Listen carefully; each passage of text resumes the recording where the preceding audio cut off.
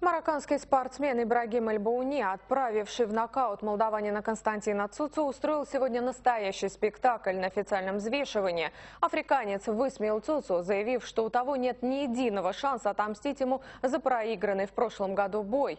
Турнир KOK пройдет завтра в столичном легкоатлетическом манеже.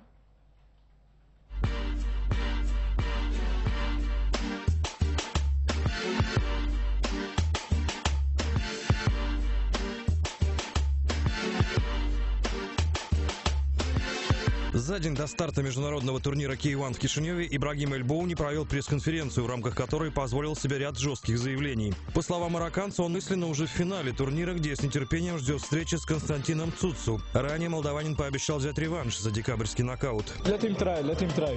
Да пусть попробует, ну еще раз окажется на полу. У него нет ни единого шанса. Уровень игроков весьма неплохой, но я надеюсь дойти до финала и встретиться там с Цуцу, чтобы в очередной раз его нокаутировать. Константин Цуцу отказался комментировать заявление Эльбоуни. Спортсмены могут встретиться лишь в финале пирамиды. Для этого обоим необходимо выиграть по два боя. Să Если они оба дойдут до финала, то финал будет поистине зрелищным. Они хорошие бойцы. Для попадания в финал и Эльбоуни, и Цуцу предстоит предварительно сразиться в двух весьма непростых боях. Но мы все же надеемся. Это будет красивый спектакль и настоящий подарок для всех. Турнир KOK пройдет завтра в столичном легкоатлетическом манеже. Начало в 17.00.